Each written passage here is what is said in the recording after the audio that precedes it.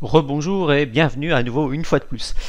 Vous avez bien compris qu'on va nettoyer la lymphe. On va pousser la lymphe comme avec un balai. Alors, ce qu'il faut bien comprendre, c'est que si je vous suggère de faire le ménage chez vous, euh, on va faire un travail préalable. Ce travail préalable, on le retrouve dans le drainage lymphatique. Ça veut dire qu'il faut d'abord, avant de nettoyer la maison, hein, euh, on va d'abord vider les poubelles. Hein.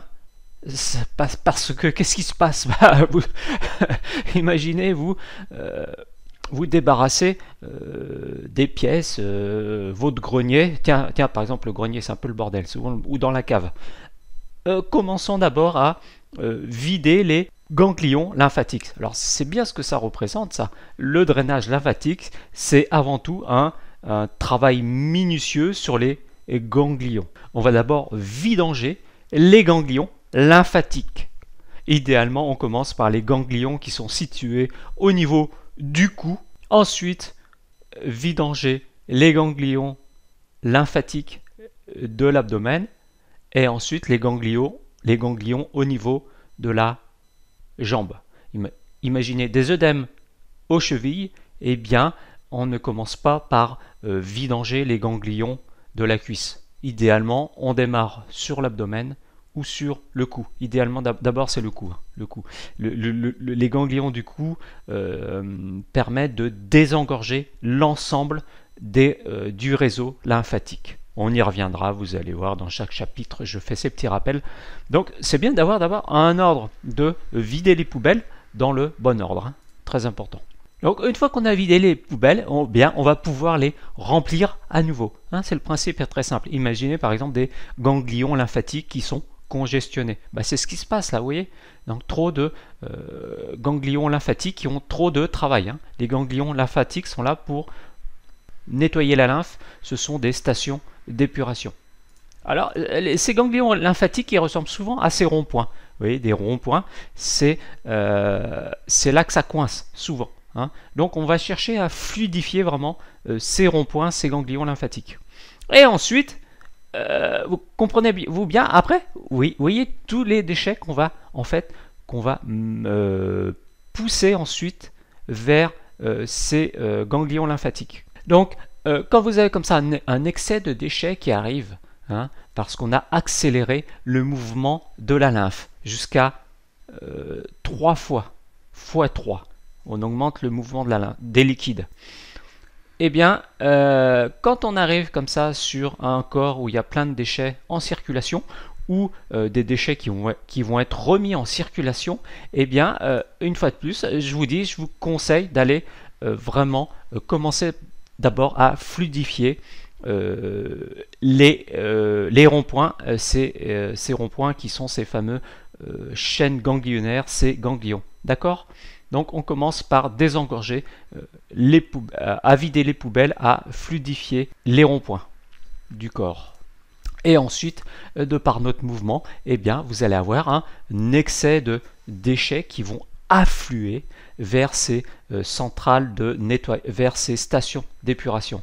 D'accord? Vous allez voir, c'est très très très simple. Donc ici on a l'exemple d'un bras, d'un œdème.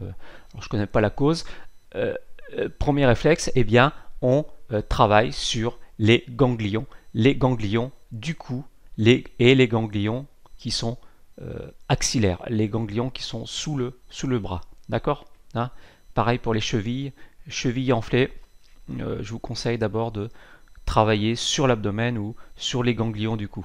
Et souvent, ensuite, qu'est-ce que c'est que ce drainage? Eh bien, ce drainage, ce n'est pas un massage musculaire. Il faut savoir que 60 60% des liquides lymphatiques se trouvent dans la peau. Donc c'est un, donc c'est drainage à fleur de peau. Drainage à fleur de peau. Donc la pression des mains, la pression des doigts, léger comme une plume. On ne frictionne pas la peau. Très important. Hein. on ne frictionne pas la peau. On ne fait pas rougir la peau. À ce moment-là, on est dans un massage musculaire. Donc évitez de mélanger les deux.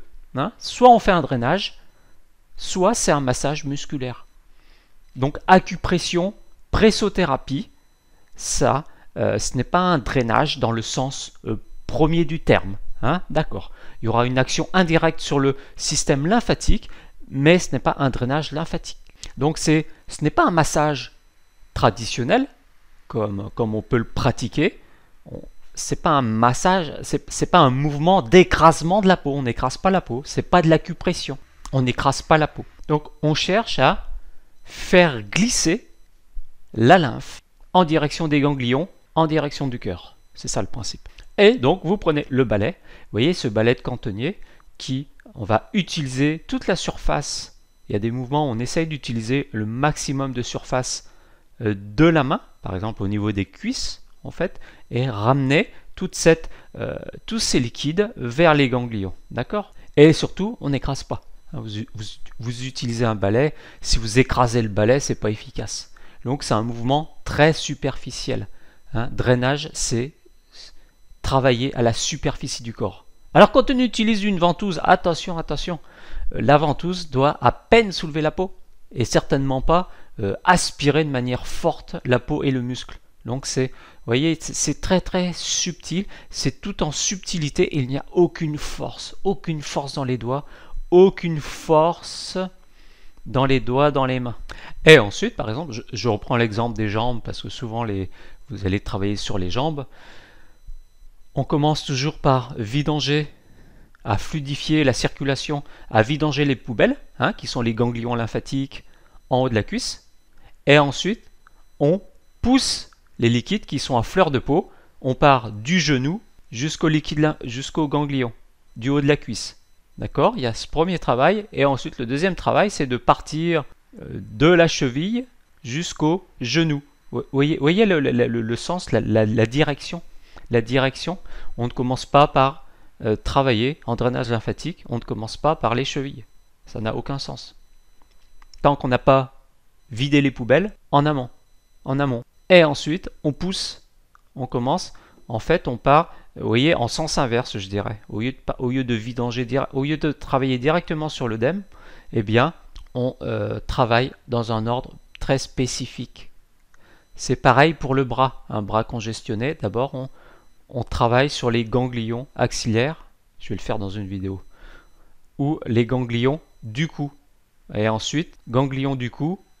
Et ensuite, on commence à travailler au niveau euh, du bras et ensuite de l'avant-bras toujours ce mouvement. En fait, on fait, on pousse les liquides. Je pousse les liquides quelque part. C'est ça, je pousse en fait. Je pousse, pousse les liquides vers les ganglions lymphatiques. Donc je commence par le bras et ensuite l'avant-bras.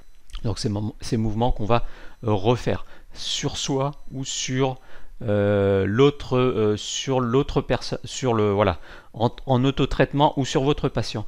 Euh, je dirais que la, seule difficulté une fois qu'on a ces principes, c'est de reproduire ces, ces, mouvements qui sont délicats. Mais une fois que vous avez, vous avez compris le principe comme ça, prenez le vidons les poubelles. Eh bien, par exemple, le truc classique, c'est la chaleur. Hein par exemple, il y a une dame qui m'a dit, euh, qui prend la bouteille, une bouillotte chaude, et donc vous la placez sur les réseaux, euh, sur les ganglions lymphatiques. Vous pourriez commencer par le cou, le cou, c'est derrière le cou en fait. Ensuite, sur l'abdomen, sur le haut de la cuisse. Voilà, ça c'est des points stratégiques où vous pouvez laisser la bouillotte, la chaleur va activer les ganglions lymphatiques et aussi la respiration, le mouvement. Mais juste déjà ça, c'est ça permet, c'est un début de drainage lymphatique.